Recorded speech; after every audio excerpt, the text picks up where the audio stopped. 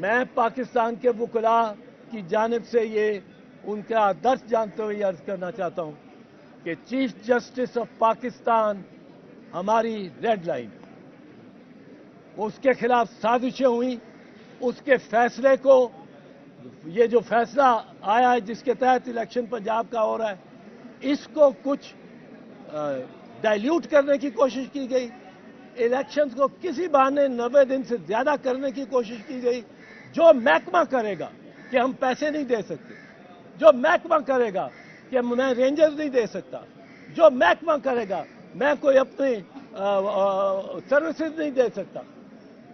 وہ محکمہ توہین عدالت کر رہا ہوگا۔ اور یہ توہین سپریم کورٹ ہے لا منسٹر صاحب اور اٹارنی جنرل صاحب نے، کہ یہ پانچ ممبر نہیں تھے، سات جج تھے۔ بھائی، وہاں کمرے میں پانچ بیٹھے ہوئے تھے۔ سپریم کورٹ کے فیصلے کی پہلی پہلی لائن کہتی ہے by a majority of three to two. اور جو دو جج ہیں انہوں نے یہ نہیں کہا کہ جناب دو ہمارے فاضل برادرن اور بھی بیٹھے ہیں، تو یہ سات ممبر بینچ ہے۔ یہ کنفیوژن جو کریٹ کی جا رہی ہے، جس کے باعث گورنر خیبر پختونخوا کھلب کھلی توہین عدالت کر رہا ہے کہ اس پہ تو یہ واجب تھا، لازم تھا کہ where the governor himself dissolve the assembly he shall he shall appoint a date not later than ninety days not later than ninety days یہ نہیں کہا کہ within ninety days not later than ninety days to for the holding of the election اب اس کے بعد بھی tight رکھا ہوا ہے۔ ٹائٹ کیا رکھا ہے کہ آگے کہا ہے کہ parliament shall meet on the twenty first day, shall meet on the twenty first day after the election, unless sooner called by the president. یعنی اکیس دن سے زیادہ نہیں ہو سکتا۔ نبے دن جمع اکیس دن۔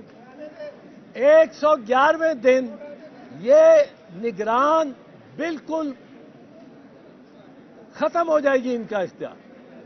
کوئی حکومت نہیں رہے گی پنجاب یا خیبر پختونخوا میں۔ اور جو گورنر تو پختونخوا اس کا، اس کی کوشش، جن کی کوشش ہے کہ یہ طول پکڑے، نوے دن والا، وہ بھی توہین سپریم کورٹ کر رہے ہیں۔ پانچ ججز کا بینچ تھا۔ حتمی طور پہ ہم یہ بتانا چاہتے ہیں۔ اس پہ میں ایک چیز اور آپ کو عرض کر دوں، یہ میری غور بات بات غور سے سن نون لیگ کے متوالوں کی نگاہ میں درست طور پہ، درست طور پہ میاں نواز شریف اور مریم نواز شریف، ان کا، ان کی ریڈ لائن ہے۔ ان کو کچھ آنچ بھی آتی ہے تو نون لیگ کے ساتھ ہم بھی ہوں گے۔ اور ہم دعا گو ہیں ان کی زندگیوں میرے لیے بطور پیپلز پارٹی اسی طرح ریڈ لائنز ہے۔ اراؤنڈ چیئرمین بلاول اور چیئرمین اور پریزیڈنٹ آصف علی زرداری۔ اس ان کو کچھ ہوا تو وہ سارا ماحول پھر ہمارے قابو میں شاید نہ رہے اسی طرح عمران خان کے ارد گرد ایک ریڈ لائن ہے۔ یہ جو شبلی یا اس کے دوسرے ساتھی عمران خان کے کہتے ہیں کہ ہمارے لیے ریڈ لائن ہے عمران خان خان۔ اور مولانا فضل الرحمان کے بھی ریڈ لائن ہے اس کے بتوالوں کے لیے ایک میں عرض کرنا چاہتا ہوں، جو سازشیں اب ہو رہی ہیں، وہ چیف جسٹس آف پاکستان کے خلاف ہو رہی ہیں۔ میں پاکستان کے وکلا کی جانب سے یہ ان کا درس جانتے ہوئے عرض کرنا چاہتا ہوں کہ چیف جسٹس آف پاکستان ہماری ریڈ لائن اس کے خلاف سازشیں ہوئیں، اس کے فیصلے کو، یہ جو فیصلہ آیا ہے جس کے تحت الیکشن پنجاب کا ہو رہا ہے، اس کو کچھ ڈائلیوٹ کرنے کی کوشش کی گئی۔ الیکشن کو کسی بہانے نوے دن سے زیادہ کرنے کی کوشش کی گئی، جو محکمہ کرے گا کہ ہم پیسے نہیں دے سکتے، جو محکمہ کرے گا کہ میں رینجر نہیں دے سکتا، جو محکمہ کرے گا، میں کوئی اپنی سروسز نہیں دے سکتا۔ وہ محکمہ توہین عدالت کر رہا ہوگا۔ اور یہ توہین سپریم کورٹ ہے۔ اور میں شہباز شریف صاحب کو بہت دبانا عرض کرنا چاہتا ہوں۔ ہم سمجھتے ہیں کہ نواز شریف اور مریم کو اگر خدا نہ خواستہ خدا نہ خواستہ خدا نہ خواستہ کچھ ہوا، تو اس ملک میں معاشرے کو سنبھالنا بڑا مشکل ہوگا۔ ہم ان کی زندگیوں کے دعا گو ہیں اسی طرح آپ سب بلاول اور آصف زرداری مولانا فضل الرحمان اور عمران خان۔ اور اب میں ایڈ کرنا چاہتا ہوں، بتانا چاہتا ہوں۔ کہ چیف جسٹس آف پاکستان بھی ہماری ریڈ لائن ہے۔ پھر وکلا کیا کریں گے؟ پھر ایک دو ہزار سات والی موومنٹ شروع ہوگی۔ کیا ہوگا؟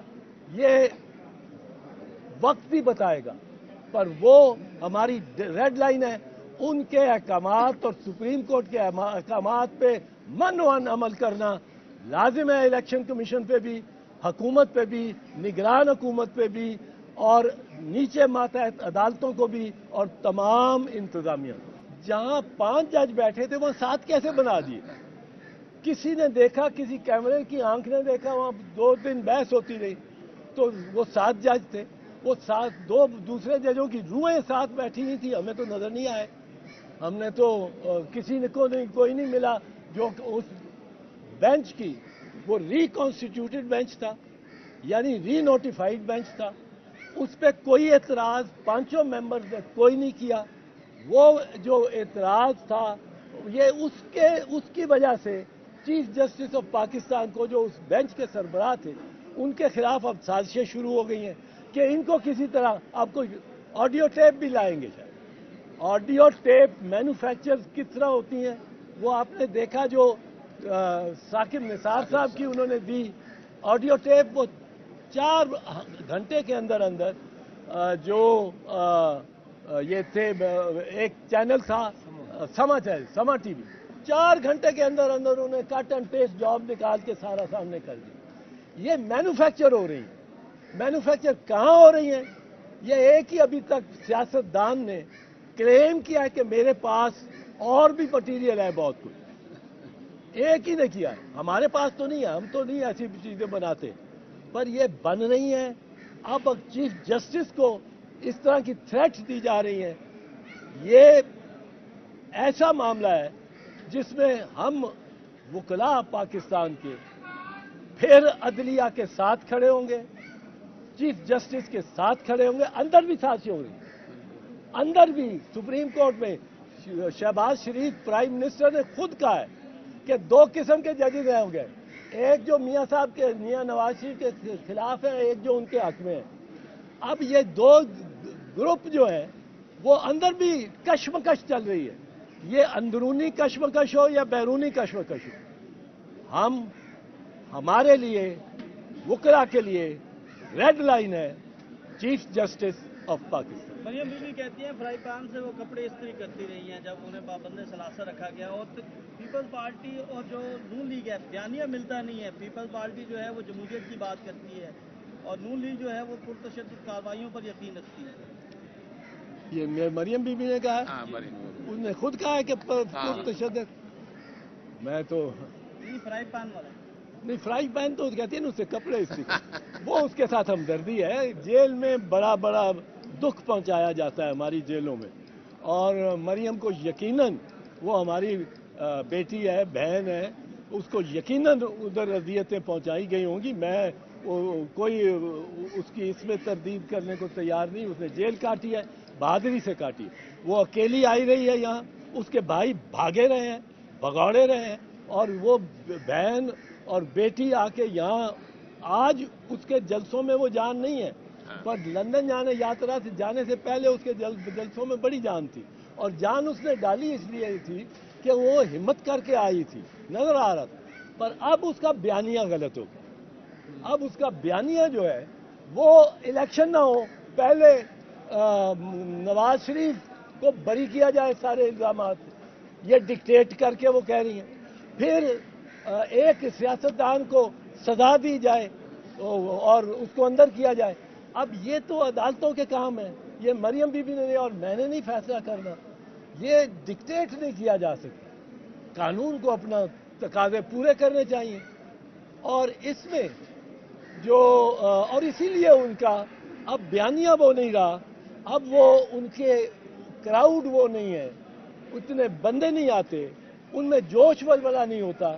جو پہلے تھا یہ ان کو سوچنا چاہیے۔